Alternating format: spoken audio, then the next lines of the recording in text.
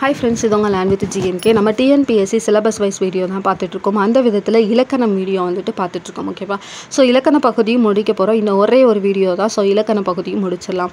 So voice அவ்வளோதான் வருது. அதுக்கு மேலே வந்துட்டு பேச முடியல. வரிசையாக வந்துட்டு வீடியோ எப்படியாவது அப்லோட் பண்ணியே ஆகணும்ல. எக்ஸாமுக்குள்ளே முடிக்கிறோன்னு சொல்லிட்டோம். ஸோ முடிச்சாகணும் அப்படிங்கிறதுக்காக அடுத்தடுத்து வந்துட்டு தொடர்ந்து பேசிகிட்டு இருக்கனால வாய்ஸ் வந்துட்டு எடுத்து கொடுக்க முடில இருந்தாலும் ஓகே ஸோ நம்ம அட்ஜஸ்ட் பண்ணிக்கோங்க கொஞ்சம்.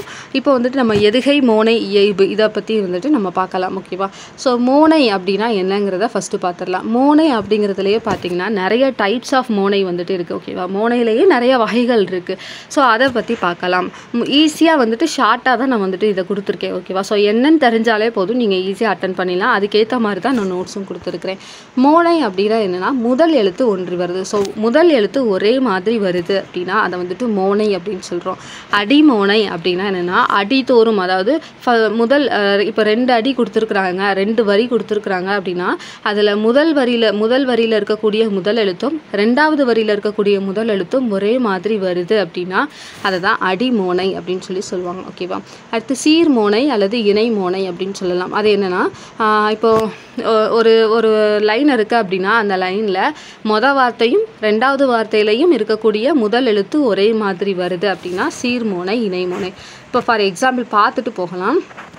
அப்போ தான் உங்களுக்கு வந்துட்டு ஈஸியாக புரியும். இப்போ எடுத்துக்காட்டு பாருங்கள் தன்னைத்தான் காக்கின் சினங்காக்க காவாக்கால் தன்னையே கொல்லும் சினம் அப்படின்னு இதில் இந்த தன்னைத்தான் தன்னையே அப்படிங்கிறதுல பார்த்தீங்கன்னா முதல் எழுத்து ஒரே மாதிரி இருக்கா? அப்போ இதை வந்துட்டு நம்ம அடிமோனை அப்படின்னு சொல்லி சொல்கிறோம் ஓகேவா?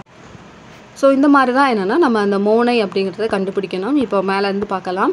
ஸோ அடிமோனை புரிஞ்சிருக்கும்னு நினைக்கிறேன். இப்போ சீர்மோனை இணை மோனை அப்படின்னா என்னென்னு பார்த்துடலாம். ஸோ ஒன்று ரெண்டு இந்த சீர்களில் வந்துட்டு வருது. சீர்கள் அப்படின்னா என்னென்னா வேர்ட்ஸ் தான்.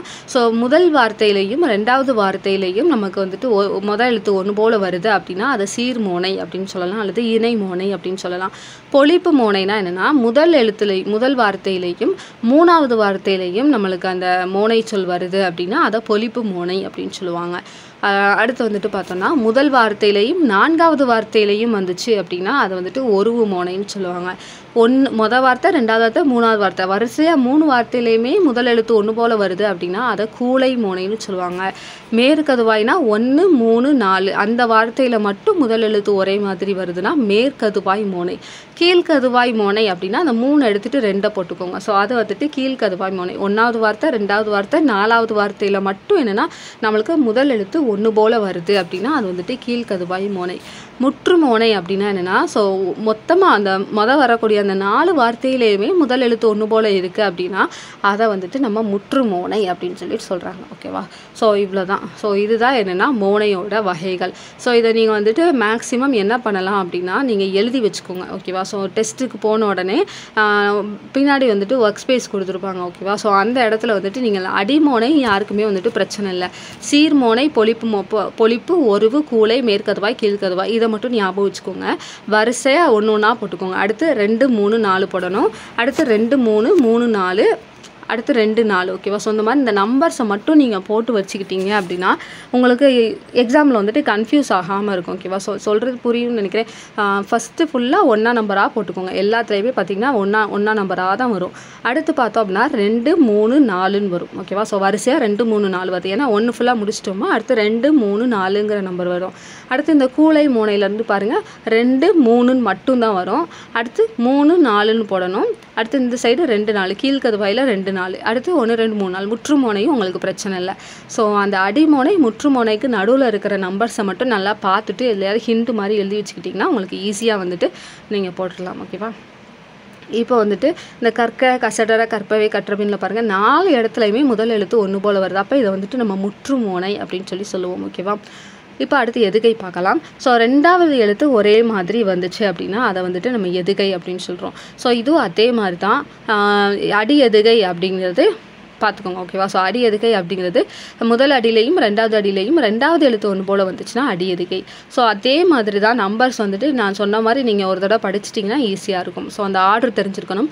பார்த்தீங்கன்னா வரிசையாக ஒன்றா இருக்கும். அடுத்து ரெண்டு மூணு நாலு அடுத்து ரெண்டு மூணுன்னு வரும். அடுத்து கீ கூளை எதுகை கூளை எதுகை மேற்கதுவாய் எதுகை கீழ்கதுவாய் எதுகை. இது வந்துட்டு பார்த்தீங்கன்னா த்ரீ டிஜிட் வந்துட்டு நமக்கு வரும் ஓகேவா ஸோ அந்த மாதிரி ஈஸியாக வந்துட்டு நீங்கள் நம்பர்ஸை மட்டும் நான் ஞாபகம் வச்சுக்கோங்க ஓகேவா ஸோ நான் நான் சொல்கிறது ஏதோ உங்களுக்கு கண் குழப்புற மாதிரி இருக்குது ஸோ நீங்கள் பார்த்து வச்சுக்கோங்க. உங்களுக்கு ஈஸியாக எப்படி வந்துட்டு அண்டர்ஸ்டாண்ட் ஆகுதோ அதுக்கேற்ற மாதிரி பார்த்து வச்சுக்கோங்க. பட் நம்பர்ஸ் வந்துட்டு இதுதான். முதல் வ முதல் வார்த்தையிலையும் ரெண்டாவது வார்த்தையிலையும் ஒன் ஒன்று போல் வருது அப்படின்னா அது வந்துட்டு சீர் எதுகை இணை எதுகை. ஒன்றாவது வார்த்தையிலையும் மூணாவது வார்த்தையிலையும் ரெண்டாவது எழுத்து ஒன்று போல் வருது அப்படின்னா அது பொழிப்பு எதுகை ஓகேவா ஸோ அந்த மாதிரி வந்துட்டு பார்த்து வச்சுக்கோங்க. முற்று எதுகைனா எல்லா இதுலையுமே ரெண்டாவது எழுத்து ஒன்று போல் வர்றது வந்துட்டு முற்று எதுகை அப்படின்னு சொல்லி சொல்லுவோம். இப்போ இந்த இடத்துல வேண்டுதல் வேண்டாமை இலானடி சேர்ந்தாருக்கு யாண்டும் உ- இடும்பை இலை அப்படின்னு சொல்லி கொடுத்துருக்குறாங்க. ஓகேவா ஸோ இதில் இன் அப்படிங்கிறது முதல்லையும் வருது ரெண்டாவது இதுலையும் வருது. ஓகேவா அப்போ முதல் இது ரெண்டாவது இதுன்னு மட்டும் பார்க்கும்போது இப்போ ஃபர்ஸ்ட் லைன் மட்டும்தான் கொடுத்துருக்குறாங்க அப்படின்னா முதல் இது ரெண்டாவது இது வருது. அப்போ இது வந்துட்டு இணை எதுகை அப்படின்னு சொல்லி சொல்லலாம். இப்போ நம்மளுக்கு எல்லாமே கொடுத்துருக்குறாங்க அப்படின்னு பார்க்கும்போது ஒன்று ரெண்டு இளானடி சேர்ந்தா இருக்குது அப்படிங்கிறது நாலாக போயிடுது அப்போ யாண்டுங்கிறது அஞ்சாவதாக வந்துடுது அப்போ அஞ்சாவதாக வரும்போது நம்ம பார்க்க முடியாது. ஏன்னா நம்மளுக்கு நாலு வேர்டு தான் நம்மளால் பார்க்க முடியும். ஸோ அதனால இதை வந்துட்டு நம்ம என்ன சொல்லணும்? இணை எதுகை அப்படின்னு தான் வந்துட்டு சொல்லுவோம். ஓகேவா ஸோ இந்த மாதிரி நீங்கள் வந்துட்டு பார்த்து வச்சுக்கிறது நல்லது. இந்த நம்பர்ஸை மட்டும் நீங்கள் நல்லபடியாக பார்த்து வச்சுக்கோங்க. அடுத்ததாக முரண் தொடை அப்படின்னு ஒன்று இருக்குது முரண் தொடை அப்படின்னா என்னென்னா இப்போ ஒரு ஒரு அதாவது அடுத்தடுத்த லைன்லேயோ இல்லை அடுத்தடுத்த வேர்ட்ஸ்லேயோ வந்துட்டு நமக்கு சொற்கள் பார்த்திங்கன்னா ஆப்போசிட்டாக வருது அப்படின்னா அதை வந்துட்டு முரண் தொடை அப்படின்னு சொல்லி சொல்கிறோம் முற்பகல் செய்யின் பிற்பகல் விளையும் அப்படிங்கிற ஸோ முற்பகல் பிற்பகல் அப்படின்னு சொல்லிட்டு ஆப்போசிட்டாக வருதா? இதை வந்துட்டு நம்ம முரண் தொடைன்னு சொல்லுவோம். இயல்பு தொடை அப்படின்னா ஒரு செய்யுளோட அடிகளில் இருக்கக்கூடிய கடைசி எழுத்தோ இல்லை கடைசி சொல்லோ என்னன்னா ஒரே சவுண்டில் முடியுது அப்படின்னா அது வந்துட்டு இயல்பு தொடை அப்படின்னு சொல்லுவோம் ஓகேவா எடுத்துக்காட்டாக பொதியில் ஆயினும் ஆயினும் பொதுவது சிறப்பின் புக புகாரே ஆயினும் ஸோ இந்த ஆயினும் ஆயினும் அப்படிங்கிற மாதிரியான அந்த வேர்ட்ஸ் வந்துட்டு என்னென்னா எண்டிங்கில் க ஒன்று போல் வருது. அப்போ அதை வந்துட்டு இயல்பு தொடை. ஸோ அவ்வளோதான் ஸோ ஷார்ட்டாக சொல்லணும்னா முதல் எழுத்து ஒன்றி வருவது மோனை இரண்டாம் எழுத்து ஒன்றி வருவது எதுகை ஆப்போசிட்டாக வர்றது முரண்தொடை கடைசி எழுத்து ஒன்று போல் வர்றது இயைபு தொடை. இவ்வளோ தான் வந்துட்டு நம்மளுக்கு இந்த எதுகை மோனை இயைபு பற்றின டீட்டெயில் ஓகேவா ஸோ இது மட்டும் தெரிஞ்சுக்கிட்டாலே போதும். இந்த நம்பர்ஸ் மட்டும் மறக்காமல் உங்களுக்கு ஏற்ற மாதிரி நீங்கள் புரிஞ்சுக்கோங்க. நான் க குழப்பி கன்ஃபியூஸ் பண்ணிப்பேன் நினைக்கிறேன் உங்களை. பரவாயில்ல நீங்கள் ஒரு தடவை கிளியர் பண்ணிக்கோங்க ஓகேவா ஸோ உங்களுக்கு ஏற்ற மாதிரி நீங்கள் ஏதாவது ஹிண்ட் வச்சு நீங்கள் பார்த்துக்கோங்க தேங்க்யூ